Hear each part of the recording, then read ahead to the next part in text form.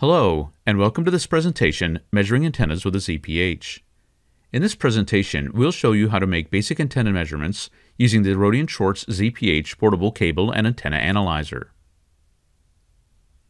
This presentation covers the essential information needed to make basic antenna measurements with the ZPH, but please see the presentation Understanding VNA's Antenna Measurements if you're interested in learning more about this topic.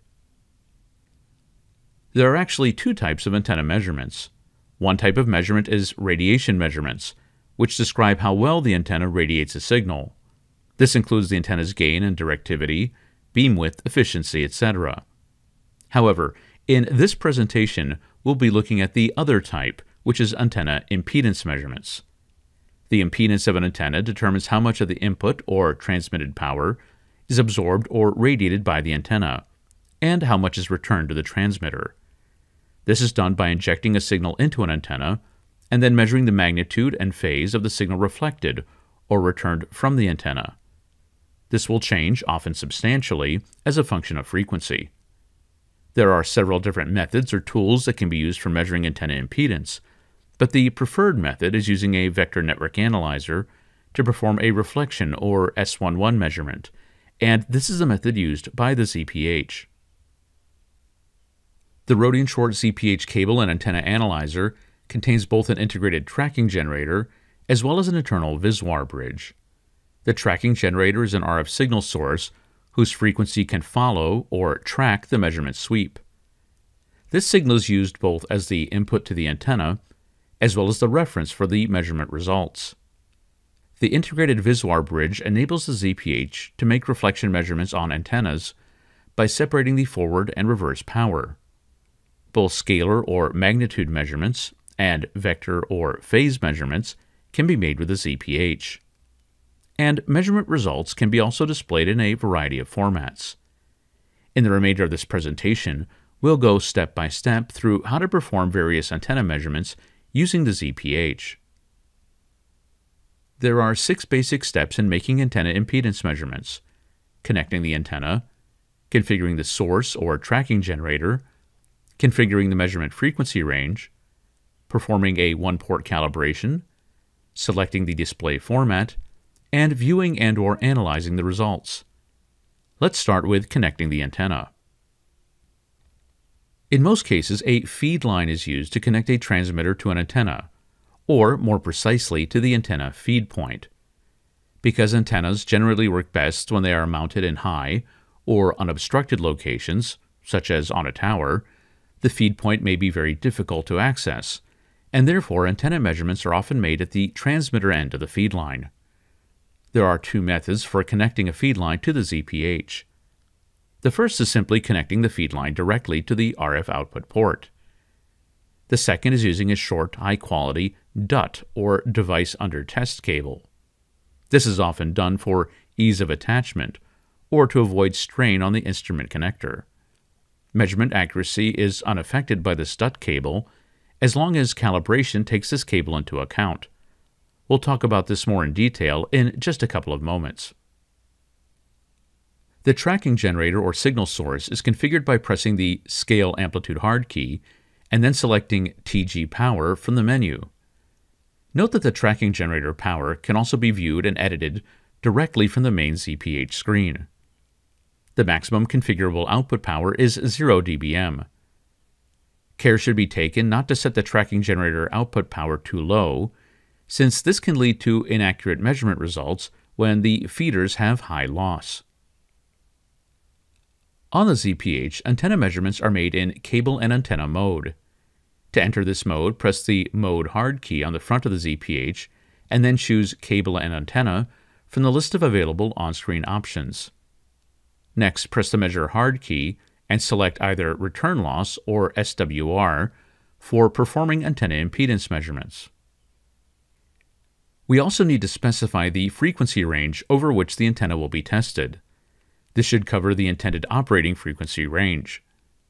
To define the frequency range, press the Frequency Distance hard key, and then either enter the start and stop frequencies, or enter these as center and span instead.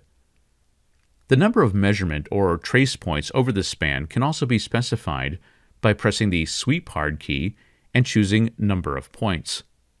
A greater number of points will provide greater detail, particularly over wide frequency ranges, but this will also increase measurement time. Before making any antenna measurements, a one-port calibration should be performed. This process involves sequentially attaching an open, a short, and a match, or load, to the location where the antenna under test or its feed line will be connected. These standards can be in the form of discrete standards, or may be combined into a calibration T. In addition to these manually attached standards, electronic calibration units can also be used. These switch their internal standards in and out automatically and are controlled by the ZPH. Regardless of which type of standards are used, the process is started by pressing the CalSpan hard key, full one port, and selecting the calibration kit. Then simply follow the prompts to run the calibration process. If the antenna under test will be directly connected to the ZPH, then the calibration standards, or calibration unit, should also be connected directly to the RF output port on the ZPH.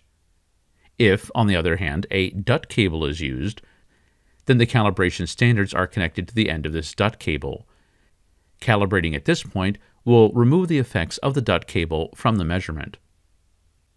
Measurements run automatically when the antenna under test is attached. Here is an example of an antenna reflection measurement. In this case, we're looking at SWR as a function of frequency between 350 MHz and 500 MHz. Over the next few slides, we'll go through some examples of analyzing or measuring the properties of an antenna from a measurement trace. Markers are enabled by using the marker hard key, and these can be used to numerically measure antenna characteristics. Up to six markers can be placed on a trace, and these can be either absolute markers or delta markers, which show the difference between marker values. You can toggle between types by pressing Marker Type. The functions provided under Set Marker can also be used to automatically place markers on the peak or minimum values of the displayed trace. Let's start by using markers to find the resonant frequency and bandwidth of this antenna. The antenna can be considered resonant at the frequency with the lowest SWR, which in this case is approximately 474 MHz. We'll define our antenna bandwidth as the range over which SWR is less than 2. Using markers, we can determine the lower bandwidth limit of 472.25 MHz and the upper bandwidth limit of 479.5 MHz, meaning that our antenna has a bandwidth of approximately 7.25 MHz. Note that in this case, the bandwidth is not perfectly centered around the resonant frequency. Antenna bandwidth is also commonly defined in terms of return loss, typically the range over which return loss is greater than 10 dB. For this antenna, display format has been set to return loss. We set a lower marker and an upper marker, and looking at the difference between these points, we get an antenna bandwidth of approximately 9 MHz. The last display format we'll look at is the Smith chart. Unlike SWR and return loss, the Smith chart displays complex impedances, that is, both magnitude and phase. As with the other display formats, markers can be placed on the Smith chart, and these will provide the complex impedance at a given frequency. We don't have time to go into details about the Smith chart in this presentation, but note that the best impedance match, corresponding to the lowest SWR, or highest return loss, will be the point closest to the center of the Smith chart. Let's end with a brief summary. The Rohde & Schwarz ZPH is a cable and antenna analyzer that can be used to measure the impedance of antennas. This is done by means of the analyzer's internal tracking generator and VSWR bridge. No additional external devices or accessories are needed to make antenna measurements. However, one-port calibration is needed before making measurements, and this requires either manually attached calibration standards or an automatic calibration unit. Keep in mind that a feed line and or DUT cable are often connected between the ZPH and the antenna under test. Measurement parameters and display modes are user adjustable, and the most common of these are standing wave ratio, return loss, and the Smith chart. Markers can be placed to obtain precise numeric measurements.